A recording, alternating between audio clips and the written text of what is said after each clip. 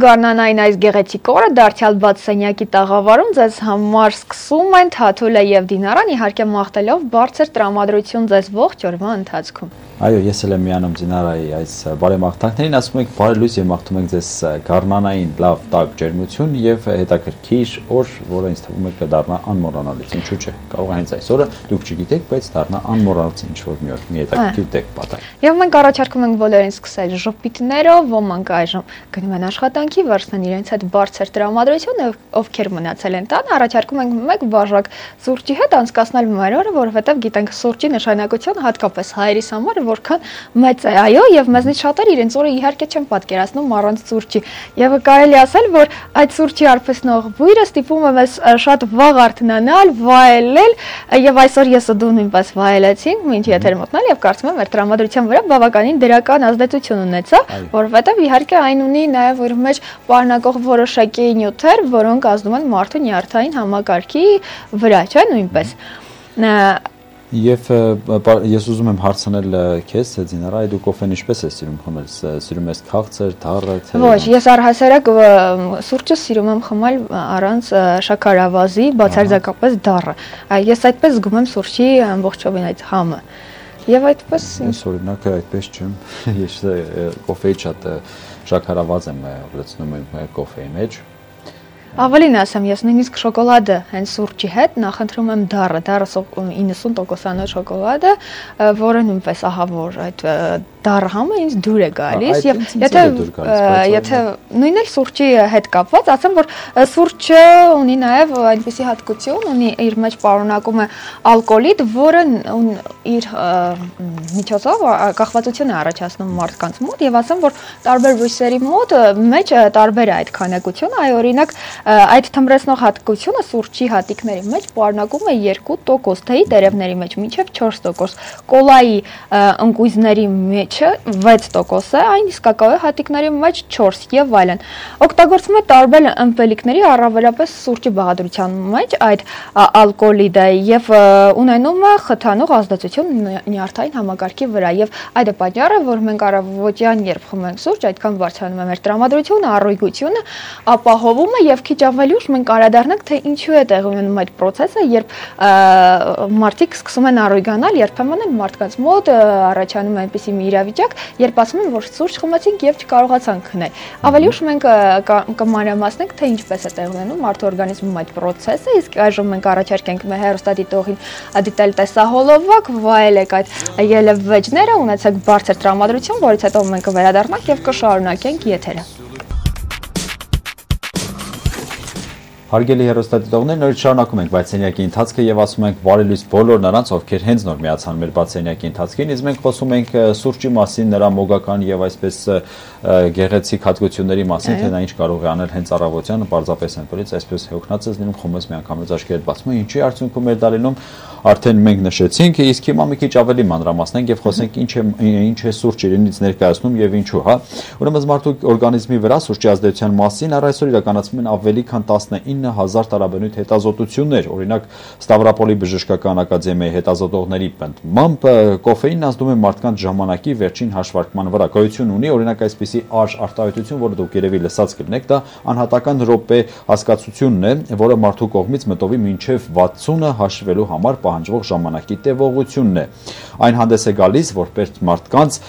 հոգեբանական վիճակի ցուցանիշ, եթե մարդը մտնում է մինչև 60-ը հաշվում է օրինակ 50 վայրկյանում, ապա նրա ներքին ժամանակի ընթացքում ավելի արագ է, քան իրական ժամանակում։ Եվ նույնը հակառակն է լինում, երբ որ դու ավելի դանդաղ ես հաշվում, քո ներքին արագությունը ավելի դանդաղ է լինում եւ մարդիկ սովորաբար պնդում են, որ եթե այդ տիպի մարդիկ ավելի դանդաղաշարժ են լինում, ավելի ալարկոտ են լինում եւ քիչ շարժվող են լինում։ Նրանց ներքին արագությունը ավելի ցածր է, քան այն արտաքին արագությունը, որը նրանք արդեն հաշվում։ Եվ այսպեսով պարզվել է, որ կոֆեինի ազդեցությունը արագացնում է մարդու ներքին ժամանակի արագությունը, ինչպես արդեն նշեցիր, եւ այս դեպքում, երբ մարդիկ ինքնին արդեն առանց այդ կոֆեինել կոֆեինի ունեն առորգություն, նրանց պարզապես արգելվում է հատկապես երեկոյան ժամերին սուրճ խմել, որովհետեւ նրանց մոտ արդեն առաջանում է արդեն այդ ժամանակի արագությունը, անհատական րոպեի արագությունը եւ ուստի նրանք չեն կարողանում քնել։ Եվ նրանց իհարկե խստիվ արգելում, ինչպես նաեւ թե է եւ երբեմն մարդիկ սուրճից հրաժարվում են եւ թե են օգտագործում, ասում որ թեյի մեջ նույնպես պարունակում է կոֆեին, թե նույնպես ունի այդ հատկությունը, ուստի կարող է նաեւ անքնության առաջացնել եւ այդ արագության ներքին րոպեն նույնպես արագացնում է այդ ընթացքը։ Եվ գիտնականները ողջել են նաեւ մի փաստ, որ կանանց մոտ այդ սուրճի ազդեցությունը, կոֆեինի ազդեցությունը ավելի շատ է, քան տղամարդկանց մոտ եւ դա կապված է որևէ հորմոնալ ազդեցությամբ, այն կոֆեինի արագ ընթացքի ազդեցության, կոֆեինի արագ տարածմամբ օրգանիզմում։ Ոստի հարգելիներս, եթե գտնում եք, որ դուք այն առանց կոֆեինի ազդեցության էլ ունեք որևէ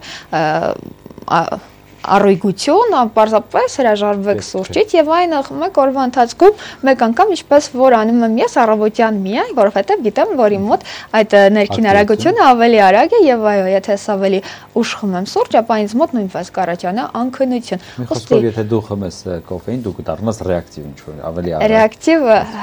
երևի թե։ Այնինչ ինձ մոտ այդ ռեակտիվ պահերը օրվա ընթացքում լինում են. Այստեղ, այնտեղ ամեն օր եւ այս հասցնում եմ ուստի առանց սուրճի էլ Այնց մոտ այդ արագությունը կա։ Ինչ որ ցանկանայի քեզ տեսնել արդեն սուրճ խմած ժամանակ, օրինակ օրական խմես մի 3 անգամ եւ ինչքան ավելի արագ։ Չես փորձել որպեսզի ավելի շատ Ես պարզապես գիտեմ, որ եթե ես չարաշահում եմ չափաբաժին, ապա ինձ մոտ անքնություն է առաջանում։ Ոստի ես առավոտյան 11-ից 12-ի ժամանակահատվածում կամ ավելի վաղ եթե աշխատանքի եմ շտապում, պարզապես խմում եմ սուրճ, առույգանում եմ եւ գալիս եմ բացանյակում ձեզ ողջունելու։ Իսկ այժմ ես մոտ բուժակն է, մենք մեր խորհուրդներով փորձեցինք օգնել ձեզ այդ սուրճի այդքան սիրելի այդ մեր կենցաղում այդքան մեծ տեղ գտած սուրճի մասի խոսելով եւ ձեզ իրազեկ պահելով իսկ այժմ մեր բուժակը կփորձի ձեզ նույնպես օգտակար խորհուրդներով հանդես գալ ուստի այժմ մեծ մոտ բուժակն է դիտեք եւ որից հետո կվերադառնանք Հարգելի հեռուստադիտողներ, մենք վերադարձանք տաղավար դարձյալ բարձր տրամադրությամբ սուրճի մարսին այս այսօր բավականաչափ խոսեցինք, որը այսօր նաև խոսենք եւս մի տարի մասին, որը այդքան շատ մեր կենցաղում օգտագործվում է, այո, դա սուրճն է եւ ծամոնը։ սուրճի մասին բավարար ինֆորմացիա ունեցանք, իսկ այժմ ծամոնի երևի թե բոլորս էլ սիրում ենք օրվա ընթացքում օգտագործել ծամոն, սակայն քչերս գիտենք նրա օգտակար եւ բացասական հատկությունների մասին, այո, բացասական նույնպես, որովհետեւ նա ունի շատ բացասական հատկանիշներ, որի մասին էր այսօր ես ու Թաթուլը ձեզ սիրով կներկայացնենք։ Այսպիսով, ծամոնը նպաստում է մկաների թուլացմանը, իսկ դա նշանակում է, որ այն ազատում է մարդկանց ստրեսներից, բայց բացի այդ այն նաև ունի դրական ազդեցություն վրանի խորոչը մաքրելու եւ այլն։ Եվ այդ մասին բացահայտել է ամերիկացի գիտնականը 30-ական թվականներին։ Եվ առանց շաքարի ծամոնն օգնում է վերականգնել օրգանիզմի ստամոքսի կամ մաղեկների վիրահատությունից հետո, օրինակ եթե վիրահատվել է, կարող եք ծամել եւ դա ավելի շատ օգնում է, որովհետեւ արտադրվում է ստամոքսահյուր, երևի դա էլ օգնում է աղիների, մի խոսքով այդ վիրահատված մասերում ավելի արակապակինմանը եւ այս եզրակացության են եկել ամերիկացի գիտնականները նրանք ենթադրել են որ ծամոնը խթանում է նյարդային վերջավորություններին որոնք իր հերթին ազդում է օրգանիզմի ակտիվացնող այդ հորմոնների արտադրման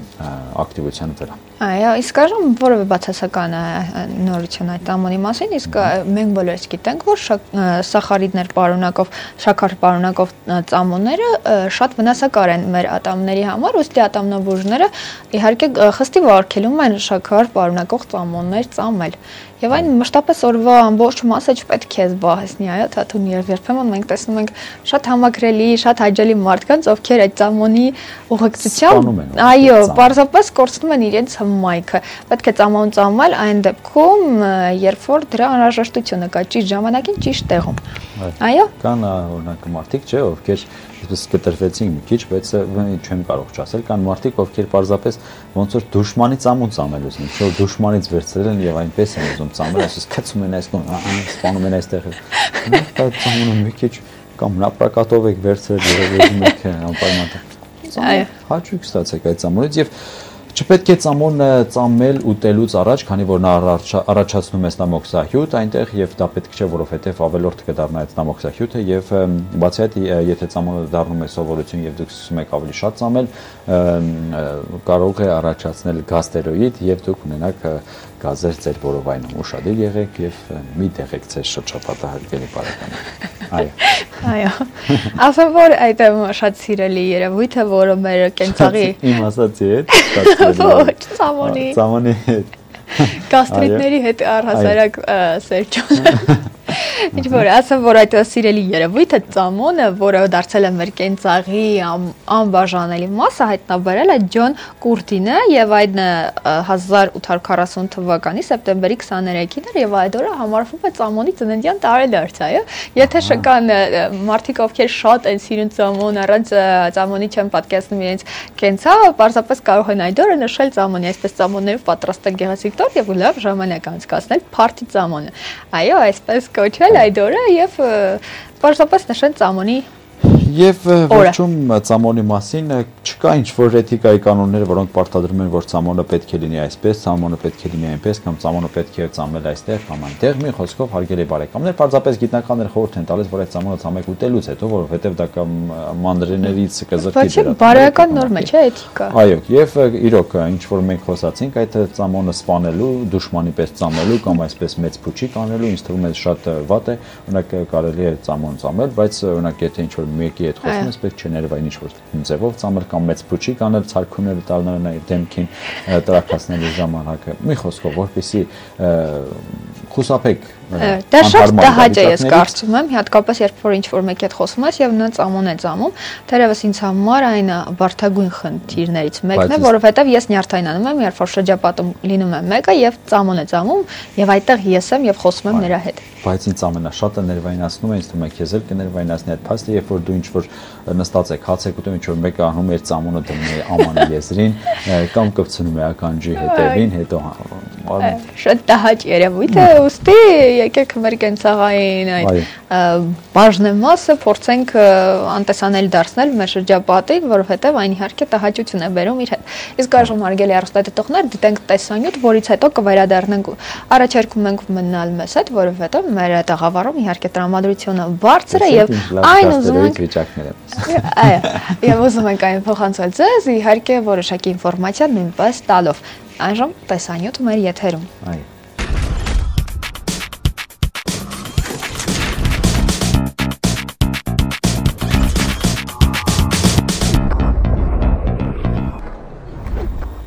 Հարգելի հերոստադիտողներ, մենք վերադարձանք տաղավար եւ արդեն մեր շատ սիրելի գործընկերուհին նույնպես միացել է մեզ, ինչը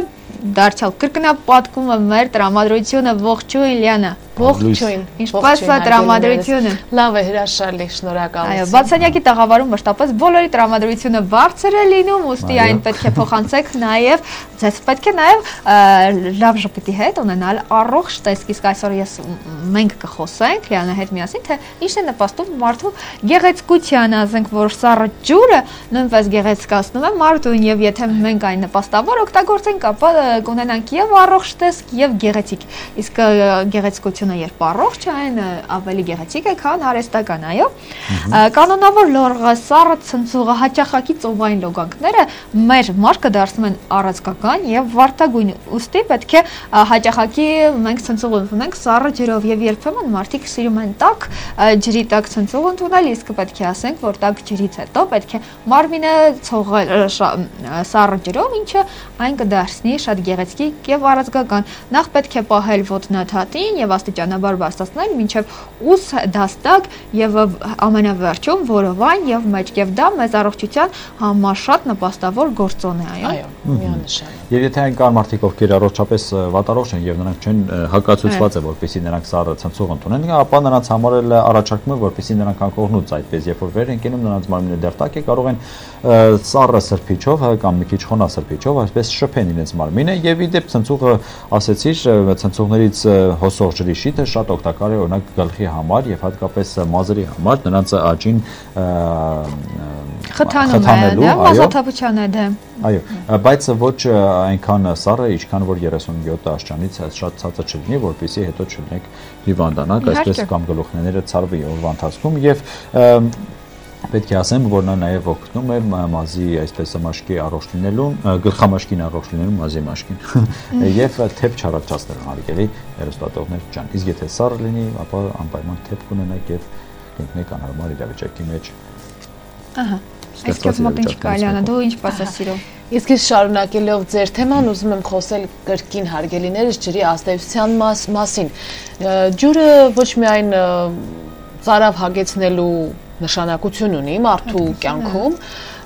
այլ առողջարար է շատ մաշկի թարմացման համար։ Առհասարակ բժիշկները խորհուրդ են տալիս, որ մարդը իր կյանքին օրվա ընթացքում օգտագործի 2-ից 2.5 լիտր ջուր։ Եթե անգամ հարգելիներս դուք բողոքում եք, որ ախր ես ջրի կարիք չունեմ, ես ծարավ չեմ եւ այլն, ոչինչ, հոգ չէ, դուք խմեք ջուր հնարավոր, որտեվ գիտեք, օրգանիզմը երբ ջրազրկվում է, արդեն ջրի կարիք չի զգում բայց իրականում նրան պետք է ջուրը որովհետև առանց ջրի մաշկը շուտ է թորոմում եւ կա բալանս, որը պետք է պահպանվի ջրի միջոցով։ Ջր ի վերջո օրգանիզմ է, չէ՞։ Ջուրն էլ իր չափականակն է պահանջում այդ օրգանիզմը։ Եթե շատ այնքան էլ չեք ուզում այնուամենայնիվ շատ ջուր օգտագործել, ապա լավ իմացեք հարգելիներս, գոնե այդ պակասը լրացնելու համար պետք է միրգ ու բանջարեղեն շատ օգտագործեք, որ որտեղ շատ ավելի է, որտեղ շատ է պարունակությունը ջրի։ Օրինակ վարունգը շատ է պարունակում իր մեջ ջուր, լոլիկը շատ է պարունակում կրկին իր մեջ ջուր, ձմերուկը, սեխը շատ են պարունակում իրենց եւ առհասարակ միրգը բանջարեղենը շատ առողջարար է ընդհանրապես թրջոցներ դրեք ձեր դեմքին թրջոց միայն ոչ ջրով ահա այլ ասենք բանջարեղենը քերած վիճակում նրա ջրային մասը շատ առողջարար է եւ իմացեք, որ ոչ միայն ծարավ հագեցնելու ես նորից եմ կրկնում, այլ նաև առողջությանն է նպաստում։ Այդ բալանսը նորից եմ կրկնում, հարգելի հերոստատողներ, շատ կարևոր է։ Բժիշկների խորհուրդն եմ ես ձեզ ներկայացնում մեր եթերից ինչին դուք հիմնականում այսպես անտարբեր եք վերաբերում մտածում եք որ դե լավ մի բաժակ ջուր խմել եմ կամ երկու բաժակ ջուր խմել եմ հերիք է ծարավս հագեցել է երրորդ անգամ եմ կրկնում իմ ասածներից, որ ճիշտ է, կարող է դուք ծարավ չեք զգում, հագեցած եք զգում, բայց ձեր օրգանիզմն է արդեն ջրազրկվել եւ ջրի կարիք օրգանիզմը չի պահանջում։ Հենց դրանից է որ դուք ջուր չեք ուզում։ Այ երբ որ ջուրը խմում եք, արդեն մեկ էլ զգում եք, որ ես նորից եմ ջուր ուզում, բայց ես ծարավ չէի, արդեն օրգանիզմը սկսում է հագենալ։ Այնպես որ ջուրը մնում է ջուր, ել չեմ ասում մաքրության համար, հիգիենայի համար,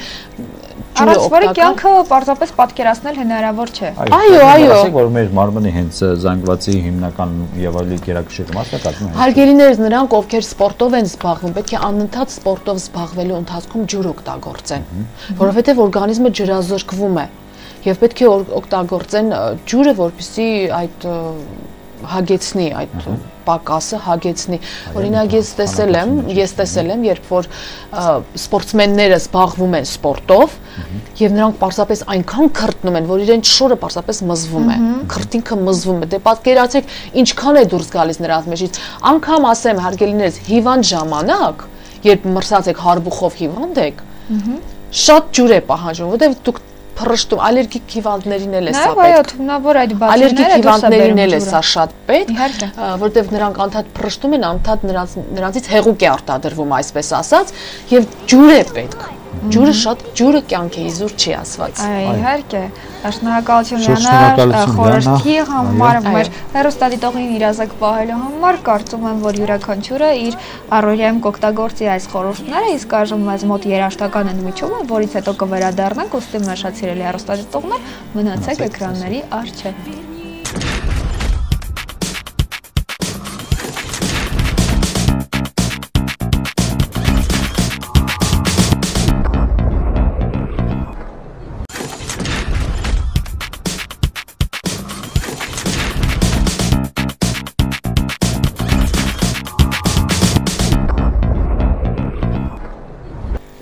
Հարգելի հերոստատիտողներ, մենք դարձյալ տաղավարում ենք եւ արդեն մեր հյուրասրահը բացել է իր դռները հյուրընկալերով մեր հյուրին, որին հենց հիմա ես կներկայացնեմ։ Այսօրվա մեր հյուրն է Պարուհի, գեղեցկուհի, սպորտսմենուհի, ակտիվիստուհի,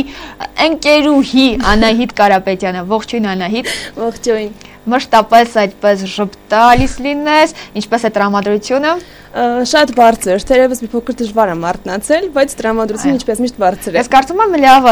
նախապայման էր քեզ այսօր շուտ արտնասները ես մշտապես գիտեմ, որ այն քեզ համար խնդիր է, բայց եթե գա բաց սենյակ, դու պարտավոր ես եւ քո ժպիտով մեր տրամադրությունը վարսացնելու համար գտնվելու մեր տաղավարում, ինչպես նաեւ ասեք շնորհակալություն մեր հրավերը չմերժելու համար։ Քանի որ մենք այսօր խոսում ենք սուրճից, այ առավոտները սուրճով սկսելը շատ լավ է կամ չգիտեմ, ես միանգ համից այսպես առաջ ընկնելով հարց եմ տալիս եւ ասում եմ դու ընդհանրապես ունեցել ես սուրճ, այսպես անկողնում ասում են, որ ասում են սուրճը կոֆեվ պաստել։ Ա, ունեցել ես այդպես։ Սուրճ անկողնում ես գուցե ապագայում ունենամ, որովհետև ներկա պահին ես ընդհանրապես սուրճ չեմ օգտագործում։ Ահա, առողջ ապրելակերպ, եթե դիտելիս լինես եթերը, կզգաս, որ երբեմն անհրաժեշտ է այդ սուրճը, սակայն քո ակտիվ եւ աշխուժության հետ, որը քո քեզ իհարկե անհրաժեշտ չէ, ես Անահիտին, որ անձամբ ճանաչում եմ, ինքը շատ աշխուժ եւ երբեմն նրան մականվան տեսքով ասում են աշխուժ, այսպես այդպիսի դրական եւ պոզիտիվ մարդ լինելու համար եւ Անահիտ իհարկե իհարկե ներկայացնենք, թե ինչպես ես դու սկսում քո օրը առհասարակ։ Այսպես անկողնուց վերկենալուց մինչև օրը սկսվում է դժվար արթնանալով միշտ, որովհետև ես գիշերը չեմ կարողանում քնել լավ եւ առավոտյան շատ դժվար եմ արթնանում։ Գրաֆիկայի խախտում։ Այո։ Արթնանում եմ մի փոքր զբաղվում եմ համակարգչով, տարբեր ծրագրեր, մոնտաժային, այդ թվում նաև ինչ որ հաղորդումներ եմ նայում, հետո գնում եմ աշխատանքի։ Եվ վերադառնում եմ շատ ուշ ու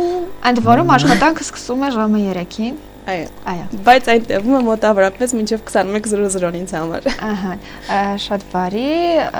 Բայց այստեղ հարց է ցակում, ինչու է ուշ գնում նա տուն։ Ուշ գնում ես գնում, արդյոք ուշ։ Այսօր ընկերական զրույց է ստացվում մեզ մոտ, կարելի է այսպես տնել ամեն ինչ մեկով եւ խոսել Անահիտի հետ պարզապես։ Իսկ ուր է գնում Անահիտը աշխատանքի, այ արդեն դու նշեցի որ գնում ես աշխատանքի, իսկ որտեղ աշխատում Անահիտը։ Ես աշխատում եմ Հորովել երկի բարի անսամբլում որպես պարուհի եւ Գայան համարձակութային կենտրոնում որպես պարուսից։ Ահա, շատ բարի։ Աննահիտը նաև նշենք, որ դու շատ ակտիվ երիտասարդների շարքին ես պատկանում եւ քաղաքում կանալիք ցանկացած միջոցառմանը դու քո ակտիվությունն ես ցուցաբերում եւ ինչ է տալիս դա քեզ, դա քո էությունը, դա պարզապես փորձում ես ինչ-որ ձև օգտակարությամբ հանդես գալ։ Ճիշտն ասած, ակտիվ լինելը որոշակի պետք է մարդու միջից գա ու ես փոքրուց եմ շատ ակտիվ եղել։ Իսկ ինչ վերաբերում է քաղաքում կայացած բոլոր միջոցառումներին ներկա գտնվելուն, դա այդքան էլ այդպես չէ, որովհետև ոչ բոլորին է որ ես ներկա եմ գտնվում։ բացառությունները ես թերևս չնշեցի։ Իհարկե։ Ակտիվ լինելը կարևոր հանգամանք է երիտասարդների համար, որովհետև երիտասարդությունը մեր երկրի շարժիչ ուժն է։ Ու եթե մենք չլինենք ակտիվ, ես չեմ կարծում, որ մեր երկիրը կգնա այնքան զարգացման, որքան որ ունի այդ հնարավորությունը։ Ցանկացած երիտասարդ պետք է մտածի իր ակտիվությամբ ինչ որ լավ բան մտցնել իր ապրած համայնքում, իր երկրում շատ բարի եւ դու նպաստավոր գործ ես անում եւ քո ակտիվությամբ իհարկե դրական ազդեցություն ես ունենում ես գիտեմ որ որ որ կա դեմ ենք իհարկե ընդ օգուտ ժողովրդին եւ օգուտ բոլորիս անահիտն այնտեղ է եւ բոլորիս փոխարեն եւ իր փոխարեն պայքարում է ընդդեմ լավի այսպես դեպի լավը տանող ճանապարհին այո Այ խոսեցինք, որ դու փոքրուց դեռ այդպես ակտիվ ես, նորից վերադառնանք քո մանկություն եւ ինչու հենց Պարուի, հա, այդ փոքր ժամանակը դու շատ էիր Պարում, այդպես լինում էր դեպքեր, որ քեզ օրինակ ասեին արի այսա թորի վրա կանգնի Պարի, բոլորը տեսնեն, այդպես ինչ որ կա այդպիսի բան, թե բարձրապես ուշ սկսվեց սերը դեպի պարը։ Ոնց սկսվեց։ Սերը դեպի պարը շատ փոքրուց է եղել։ Ես 5 տարեկանից պարի եմ հաճախել։ Այդ ժամանակ չէի սիրում հայկական բարերը, ճիշտն ասած։ Հերոստացիցով միշտ նայում էի ու ինձ մոտ հարց էր առաջանում, ոնց են ընտրում, որ բոլորը այսպես մի հասակի են, բոլորը այսպես երկար մազեր ունեն, այսպես սիր ունեն, հետո մի փոքր մեծացա ու հասկացա, որ մեր ազգային բարը առաջինն է, ինչին մենք պետք է տիրապետենք։ Երկու ամիս մեծացար ու մի անգամից հասկացա։ Մոտավորապես։ Եվ այդպես անահիտ բացի բարը մենք արդեն նշեցինք, որ դու նաև զբաղվում ես սպորտով եւ ներկայացնեք թե նախ որ սպորտով եւ որքան է մեկը մյուսին նպաստում։ Գնանք մի փոքր էլի մանկություն, հա փոքր ժամանակ զբաղվել եմ կարատեով, Կերկուսինկայ կարատեով։ Զգուշացնենք բոլոր նրանց, ովքեր կփորձեն որևէ կերպ, այո։ Այո, Թաթի ջան։ Ես վտանգ չեմ ներկայացնում, հատկապես ընկերներիս համար։ Եթե անհրաժեշտություն լինի հարգելիներս պարզապես մշտապես ժպտացող այս քրական եւ բարի մարդը կարող է նաեւ հակառակ դրսևորումներ ունենալ։ Ոստի եկեք Կպչես տոկը տան ես։ Այո։ Ներկա դրությամբ կապերը պահպանվում են Հայաստանի Կյոկոսինկայ կարատեի ֆեդերացիայի հետ, որովհետև մասնաճյուղը նաև գործում է այն հիմնարկում, որտեղ ես աշխատում եմ, բայց կոնկրետ ես զբաղվում եմ այս պահին slackline-ով։ Ահա։ Մարզումները այդքան էլ չենք հասցնում այս պահին շատ անենք, որովհետև եւ ես եմ սպաղված եւ տղաների մի մասը արդեն բանակ են գնացել, բայց փորձում ենք ամեն ինչ անենք, որպեսզի մարզաձևը նաեւ Վանաձորում տարածում գտնի, որովհետեւ Երևանում այն արդեն բավականին տարածված է երիտասարդության շրջանում։ Իսկ ո՞նց եղավ, ո՞նց իմացա դու դրա մասին, ո՞նց է եղավ որ հետաքրքրություն դեպի այդ սպորտաձևը Պարանների հետ կապված գործ է եւ ժապավենի հետ է կապված, ծառերից հենց slackline-ը ծառերից են կապում ու որոշակի բարձրության վրա փորձում են քայլել ու տարբեր ակրոբատիկ հնարքներ անել ժապավենի վրա։ Այո։ Դա սկսվեց մոտավորապես նախանցած տարի մայիսի 9-ին, երբ առաջին անգամ Երևանի Slackline-ի թիմը Վանաձորում միջոցառում անցկացրեց։ Դրանից հետո մենք հասկացանք, որ Վանաձորում, որտեղ զվարճանքի վայրերը այդքան էլ շատ չեն, դա կարող է լինել մի խումբ երիտասարդների զբաղմունք։ Այո, ժամանցի կազմակերպումը շատ ճիշտ Եվ Angel Lore Travel-ը հանդիսացավ մեզ օգնող օղակ եւ հնարավոր դարձավ դա։ Շնորհակալություն եք։ Քանի անգամ ես ընկել այդ պարանների վրայից։ Բարձրությունը այդքան էլ մեծ չէ, ընկնելը վտանգ այդքան չի ներկայացնում, եթե շատ բարդ հնարքներ չես իրականացնում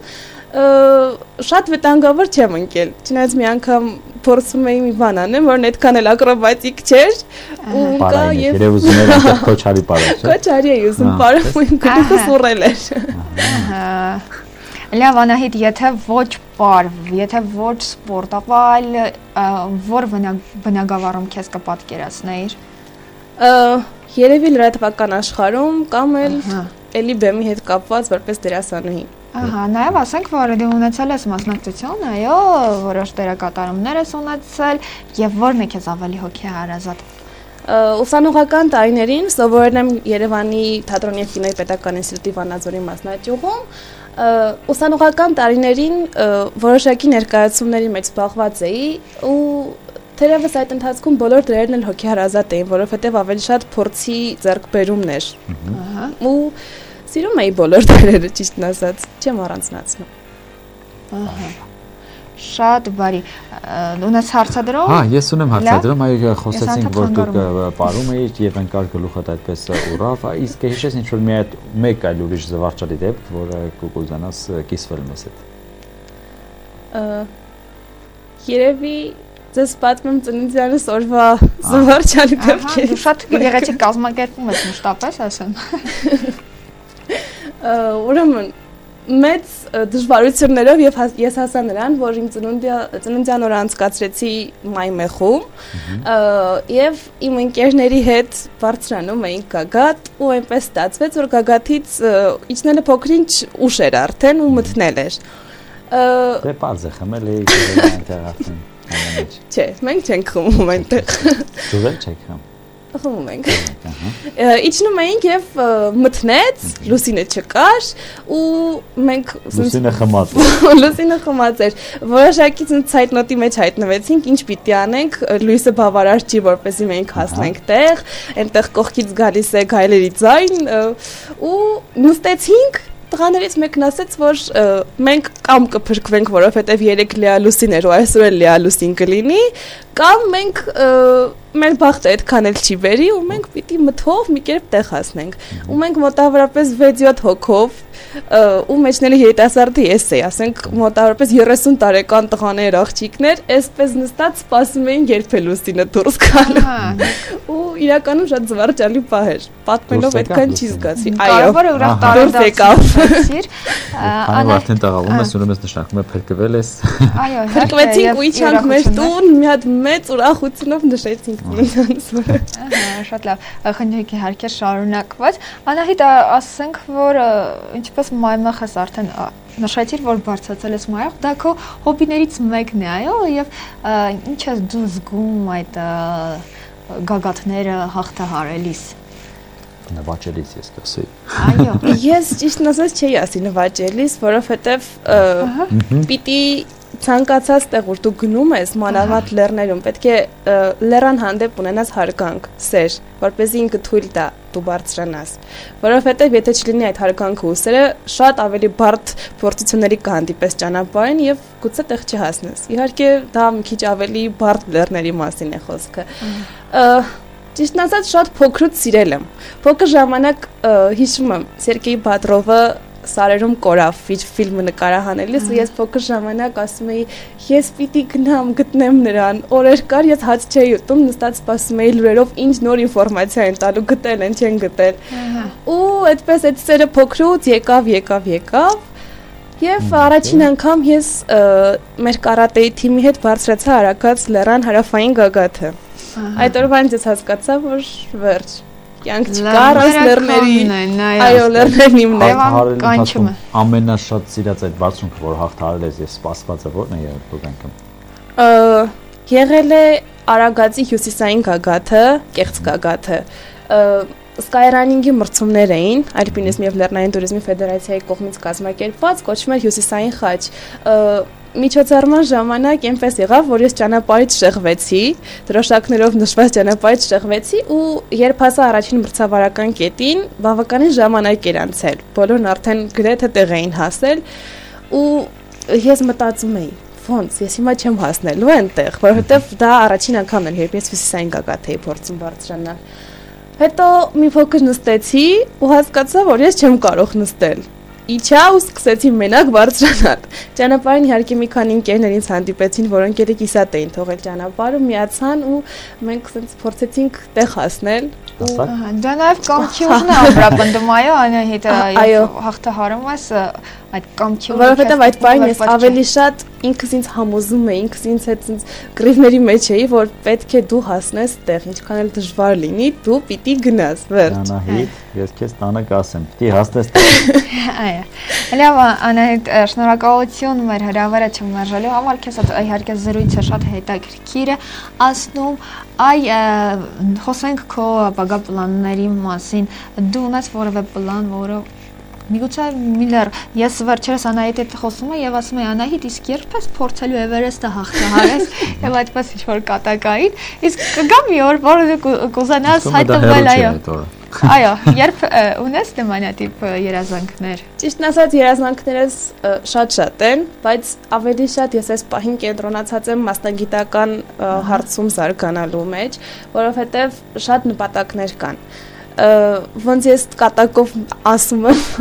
ես պիտի մտնեմ պարավեստի պատմության մեջ։ Ահա թե։ Ես դա իհարկե կատակով եմ ասում, բայց ներքին հույսով որ նման բան կլինի մի օր։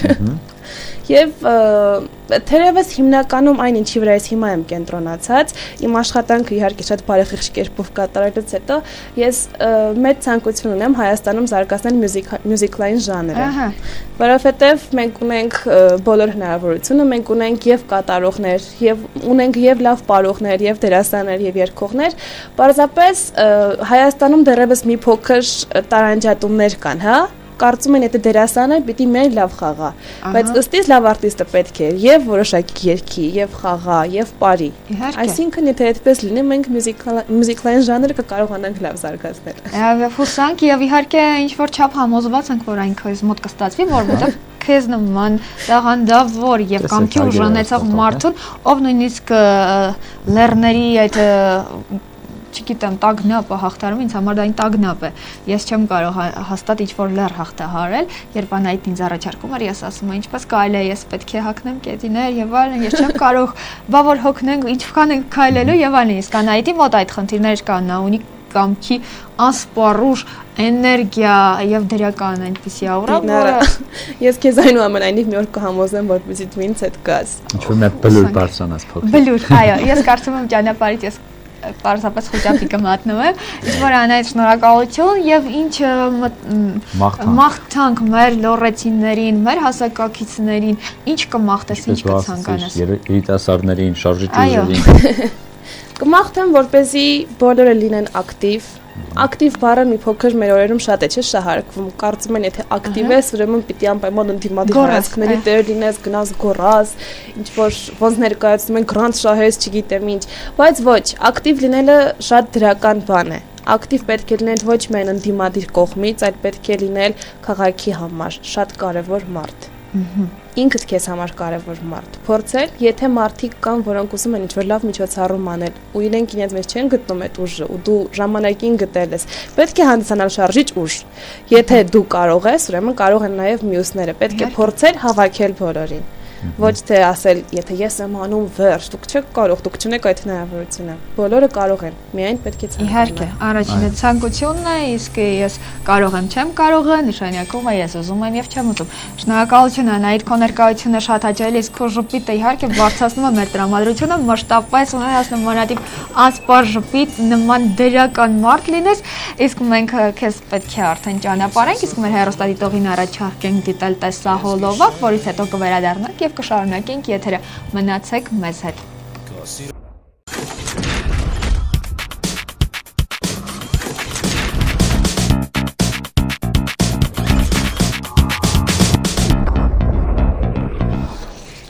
Հարգելի բարեկամներ, շարունակում ենք մեր բացենյակի ընթացքը եւ ասում ենք բարելույս բոլոր նրանց, ովքեր հենց նոր միացան մեզ, ովքեր հենց նոր արթնացան եւ միացրեցին հերոստացույցը եւ տեսնում են մեզ իրենց եթերում եւ մենք խոսեցինք այսօր հետաքրքիր թեմաների մասին, բայց նորից հետաքրքիր շարունակում է եւ հիմա խոսելու ենք երաշտության մասին, թե ինչ կարող է դառնալ երաշտությունը մեզ համար եւ ինչ հոգեկան ապրումներ կամ ինչ հոգեկան ապրումներից դուրս կարող է հանել երաշտությունը։ Եվ այսպես երաշտությունը յուրատեսակ լեզու է, որը շրջատ պատի համար մաչելի է դարձնում մարդու ներքին ապրումները, այն դարձնում է դրական եւ լսելի։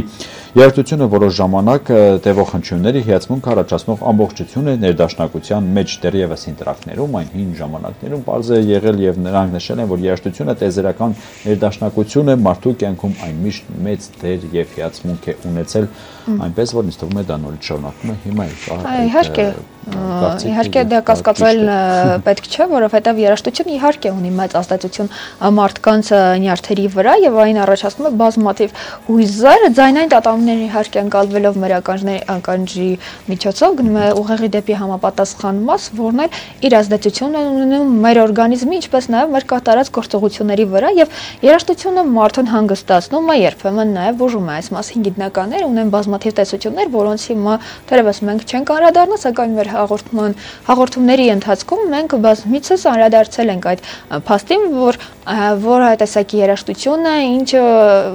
ազդեցություն են նում եւ ինչպիսի իրավիճակներում է ազդում մարդու վրա եւ հայտնի է որ օրգանիզմի վրա այդ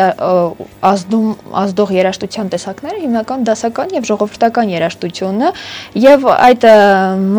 այդ միջոցով մարդկանց հոգեկան աշխարհը փոխվում է եւ մեր մկանները եւ նյարդային համակարգը ընդունակ է յուրացնել ռիթմը որն էլ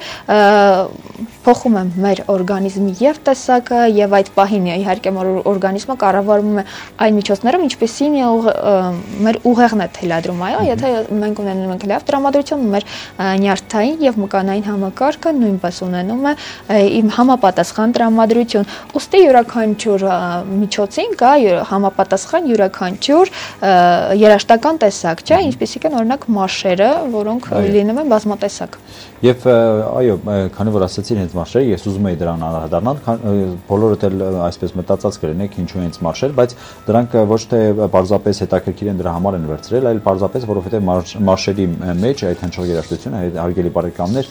մարդու սրտի զարկերից մի փոքր դանդաղ է եւ դա մարշերը հիմնականում օգտագործում են զինվորական ծառայության ժամանակ, արշավների կամ ինչ որ երթարշավների գնալու ժամանակ հենց զինվորները երգում են մարշեր եւ դա ավելի այսպես ոչ թե չի ձանձրացնում եւ ավելի ինչ որ այսպես ստիմուլ է տալիս, որպեսզի նրանք ավելի ակտիվ լինեն եւ նրանք միջին այդ ժամանակը տնարկատարությունների ժամանակ հնչող մարշերի ավելի աշխույժ են 70 տակտ 1 րոպեում եւ դա այն տակտն է, որը մարդու սրտի արագությունից մի փոքր, հա, արդեն 8 տակտ, հա, քիչ է եւ դա թույլ է տալիս, որպեսզի նրանք ավելի ակտիվ եւ ավելի չհոգնեն ու նաեւ չհոգնեն եւ շարունակեն իրենց ռազմերթը։ Եվ հա, այդպես է, եւ ասում եմ, որ երաշտական այդ ճաշակը ստեղծագործությունները ավելի շատ ազդում են այն մարդկանց վրա, ովքեր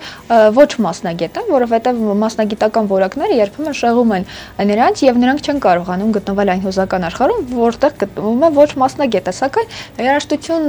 ունկնդրելիս պետք է հաշվի առնել նաեւ մարդու երաշտական ճաշակը, այո, երբ նրան տալիս ենք մեկ այլ երաշտություն, նրա մոտ կարող է ազդել տրամադրության վրա եւ անկում նկատվի, ուստի պետք է յուրաքանչյուր մարդ լսի այն երաշտությունը, որն իրեն հոգեհարազատ է եւ երբեմն մենք բախվում ենք այդպիսի մտքերի հետ, որոնք ասում են, որ այսպիսի երաժշտություն չենք լսում, մոդայիկ չէ, սա վատ է, որակը, էս է, այսպես է, այնպես է եւ հատկապես այսօր մեր օրերում այդ ռաբիս կոչվածը, որը մշտապես մարդիկ ավելի շատ են լսում, քան ավելի որակյալ երաժշտությունը, անընդհատ դատապարտում են եւ դատապարտում են հենց այն մարդիկ մեծամասամբ, ովքեր եւ լսում են, ում որ հոգի հարազատ է, այո, այդ երաժշտությունը։ Ես պետք է մի այսպեսի բան ասեմ, կներես ընդհատման համար, պարզապես ինձ թվում է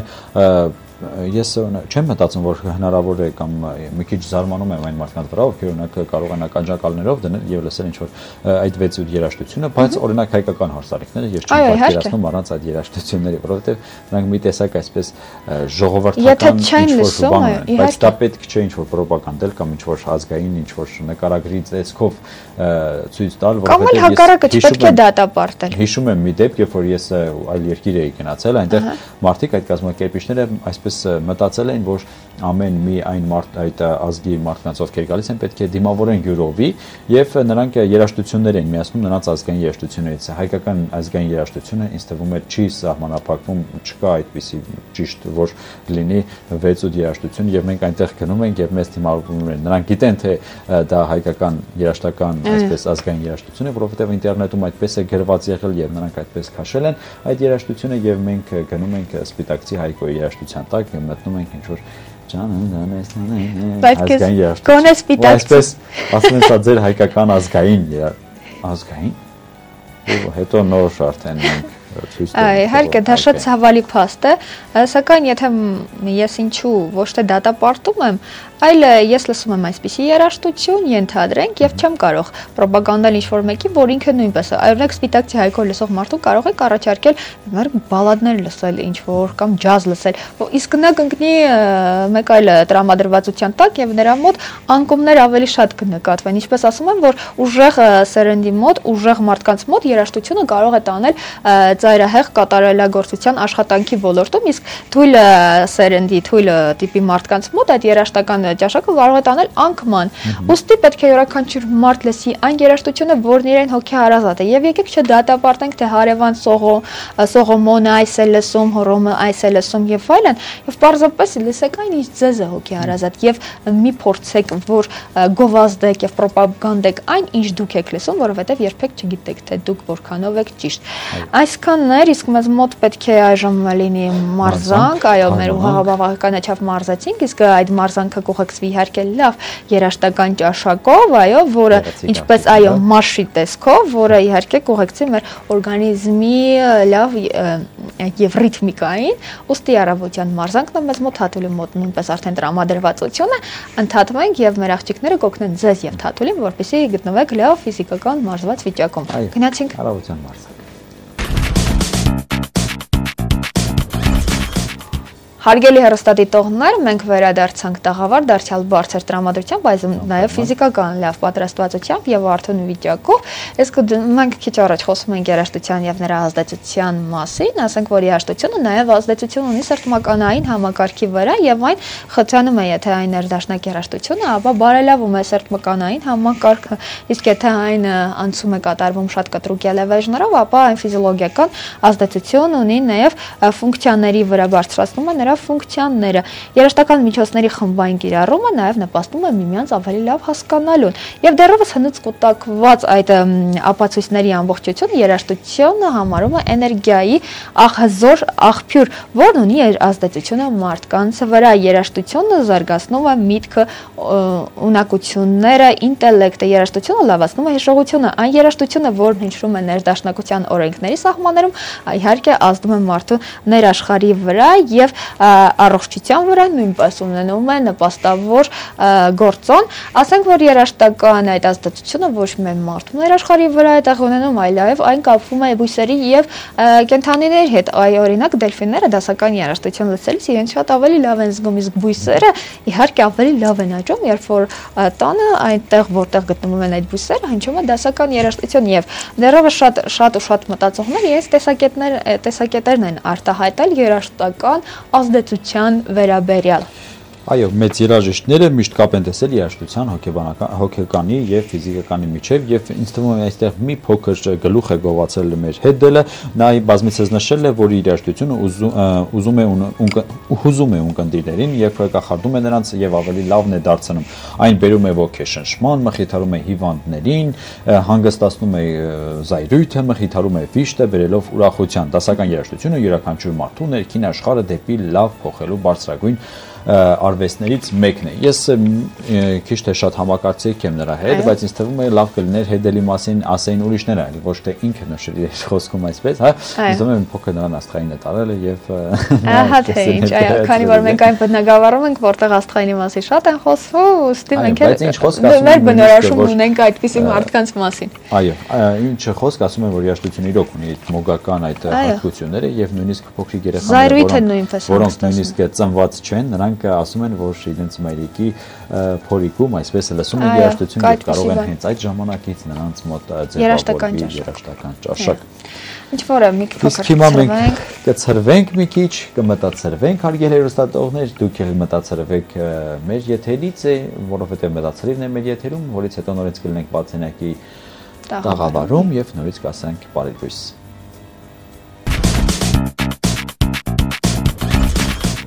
Հարգելի արստարիտողներ, մենք վերադարձանք ծաղավար, ցավոք մեր եթերաժամի այդ վերջի հատվածն է, սակայն մեզ մոտ արդեն ավանդույթ է, որ մենք ներկայացնում ենք թևավոր մտքեր, որոնք կարող են ինչ-որ դասը հանդիսանալ մեր հերոստատիտողի, ինչու՞ չէ նաև մեզ համար, ուստի հենց հիմա մենք սիրով դրանց կփորձենք ներկայացնել, այ օրինակ երեխաներին կուրք մի դարձրեք, երբեք նրանք կմեծանան եւ զոհեր կպահանջեն։ Այս մասին ասել է Պիեր Բուսատը։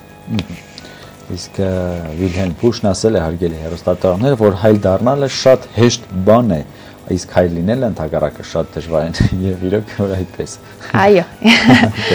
Երանի քեզ փոքրիկ որ քայլել չգիտես, որովհետեւ դու միշտ գտնվում ես այն մարդու գրկում, ում այդքան շատ է սիրում եւ ով այդքան հարազատ է քեզ։ Իսկ մի անծանոթ փիլիսոփա ասել է, որ սերը ծնողների հանդեպ բոլոր առաքինություններից բոլոր առաքինությունների հիմքն է։ Եվ ես մի միտք ներկայացնեմ, իհարկե շատ լավ։ Եթե հնար լիներ աշխարհ գալ նորից, կուզեի ծնվել նույն հորիցը նորից։ Կարծում ես միտքը շատ հոգեհարազատ է մարդկանց եւ շատ ծանոթ է, որովհետեւ նույնիսկ համացանցում այդ ստատուսային բաժնում ես շատ եւ շատ եմ կարդում այս, ուստի այսօր ուզեցի եթերից նույնպես ձեզ համար այսպես պատրաստել եւ ասել եւ այսպես ծանողասեր այս տոնի վրա էլ ասենք Բալզակի հանրահայտ խոսքերը, որ մոր սիրտը անդունդ է, որի խորքում միշտ ներում կգտնվի իրոք որ դա այդպես է, որովհետև չկա, չէ, այդպես։ Միակ հայազատ մարդը, ով երբեք չի նեղվի եւ մշտապես կհասկանա քեզ, նույնիսկ եթե մենք երբեմն մեր ծնողների հանդեպ ոչ այնքան ճիշտ վարվեցողությամբ ենք հանդես գալիս, մշտապես ներում ենք։ Չասենք մենք, այլ պարզապես ասենք անավակ ворթիներ։ Լավ, ծերևս այո։ Ինչ որ է, ես պարզապես այսպես նույնացնում եմ մեզ հետ, որովհետեւ առաստատողը չմտածի, որ մենք քննադատաբար ենք հանդես գալիս։ Ինչ որ է հարգելիներս, մեր եթերաժամը ցավոք մոտեցավ իր տրամաբանական ավարտին, մենք պետք է հրաժեշտ տանք ձեզ դարձյալ հանդիպելու ակնկալիքով, ասենք որ ունեցեք բարձր տրամադրություն ողջ օրվա ընթացքում, ժպտացեք, փոխանցեք միմյանց դրական լիցքեր, իհարկե մնացեք ֆորտունայի հետ, որpիսի այն դարձյալ բարձր լինի ամբողջ օրվա ընթացքում, մենք ձեզ հրաժեշտ տանք։ Այո, ես էլ միանում եմ Զինարայի մաղթանքներին եւ պարզապես ասում եմ հաճախ շփտացեք, որպեսզի ավելի գեղեցիկ լինի ձեր օրը։ Իսկ այսօր ասքան։ Բարյավ, այո, ձեզ հետ տաղավարում աշխատեցին Դինարան եւ Թաթուլը, կհանդիպենք Fortnite եթերից հաջողություն։